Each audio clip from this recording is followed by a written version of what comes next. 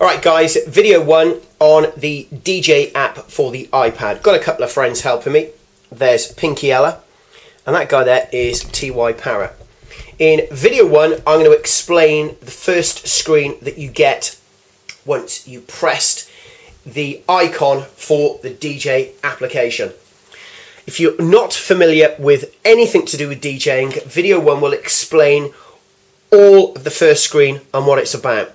Now we can see these two circles here. Now if you imagine old school vinyl turntables, that's what they are. The difference being is these guys won't skip, they use digital music, and there's no needles on the end. So if the needles break, uh, you're still going to get tunes. Well, that's the wrong thing to say actually, because A, the needles will never break, and B, you'll always be able to play your tunes because you're using digital music. It's like, duh. Right, so um, you know, what are those for? What does that do? What does that do? What? In other words, can you imagine a child going, "What's that for? What's oh, what's that do?" Well, uh, I will explain what everything does on this first page.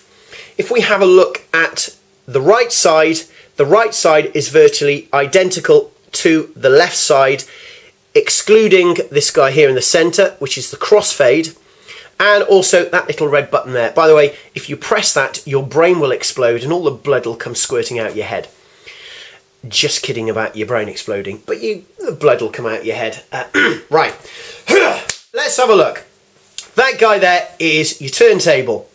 If you press the icon to the left of the turntable at the top, press that like so, you will get the screen that will go to all of your tunes that you have in the iPad. In other words, if you haven't put any music in there, you probably won't get anything. So you need to press that to get to your tunes. You'll also see the alphabet. I can press on any of the letters of the alphabet and that will get to the relevant songs. If I press on a song like so, you can see all of a sudden that track is being loaded up onto that turntable.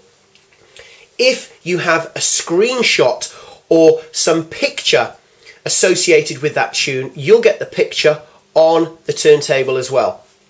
Over here, we have this guy called the pitch control. Now what that will do, that will increase and decrease the speed of the track that's playing. This guy here will let me play the track. I'll just give you an example. Put the volume up.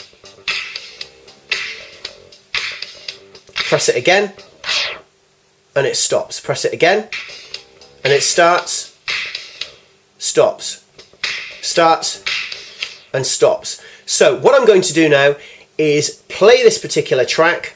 It's I Should Have Loved You by Narada Michael Walden. So we'll play this. Let's have a look at the pitch. Have a listen. It's now slowing down. It's now speeding up.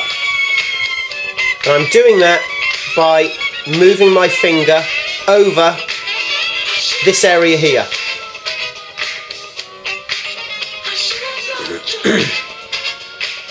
what I can do now if I want to, top right hand corner, exactly the same top left hand corner, this icon here, I can increase or decrease the volume of the track that's playing.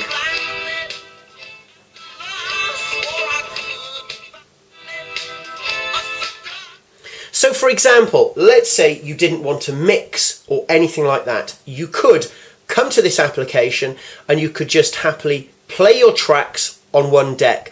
But these sets of tutorials are all about taking people who are very, very scared of, let's say, having a mix and getting you into the art of DJ mixing because this application will help you. We've got something called Sync. It's got nothing to do with washing up or taps or water, that guy there will let you sync the beats. In other words, if this guy is moving, the sound, the beat is at this sort of tempo. And say this one here, oh, is that, is that tempo? What will happen when you get these guys into sync mode, they'll both work together. Oh my god, that is so funny. All right, so let's put the volume back up on this guy. now, what we can do as well if we want to like a proper vinyl turntable. If I put my finger on the top, I can stop the music. Take it off, it'll start again. Stop and start. Stop and start. Also, if I want to, I can stop, forward. In a future demonstration, I'll be showing you how you can do something like this and do what's known as scratching. Off it goes again. Crossfade. Now, this is quite important because, for example, if we just stop that, if I just move the crossfade over there. Now, you may be thinking, press play, and all of a sudden, you think it's broken. There's something wrong. You haven't got any volume. The volume's up here. You can see these LEDs flashing, which means there is something playing. The turntable is spinning. But why haven't you got any volume? That's because your crossfade is over the other side. So bring the crossfade across. And as you can hear and see by me manipulating and moving the crossfade over from right to left, left to right, I'm able to increase and decrease the volume. So what is a crossfade? Well, let's have a look at the top here, top right hand corner. You saw earlier on when I pressed that, or not press it, sorry, when I moved that up and down, I was able to increase or decrease the volume on this turntable. Now let's just imagine, and I'm not going to do it now because it'll sound terrible because I haven't chosen the correct track for this side here. But let's imagine we had two songs playing, one on the right and one on the left. With the crossfade in the middle and also the volumes on either side up or halfway so we're able to hear both tracks. With the crossfade in the middle, I would be able to hear both songs at the same time. If I move the crossfade over to the left, all the way to the left, I would only be able to hear the left side. If I move the crossfade all the way over to the right, I would only be able to hear the right side. Uh, are you uh, making notes, Pinky Ella? Yes, thank you very much. Jolly good.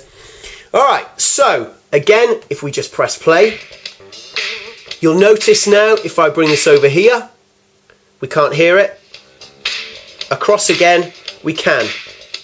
Over, we can't. And across, we can. In the centre. Set. Now what's that about? what I've done now, I set a cue point.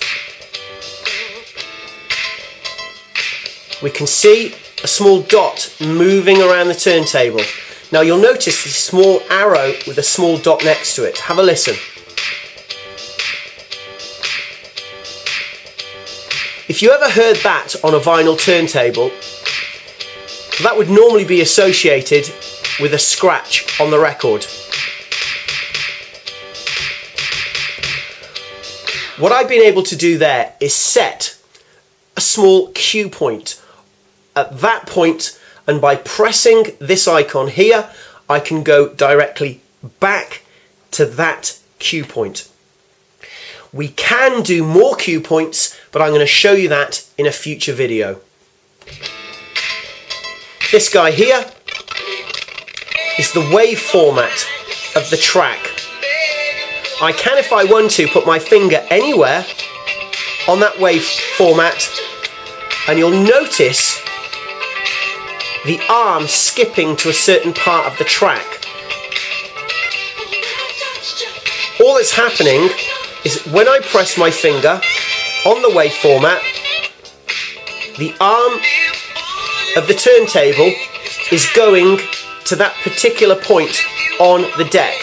An easy way of explaining that, if I press the left side of the wave format that's almost going to the beginning of the track and the arm will go to the outside of the turntable. If I hit there to the left side, the arm will go to the centre, which is exactly the same way a normal vinyl turntable will work. It will start on the outside and work its way through to the centre point. Once again, we'll have a look at the pitch, slow it down, speed it up. Center point, when we get to zero, if you can see that, if I just zoom in,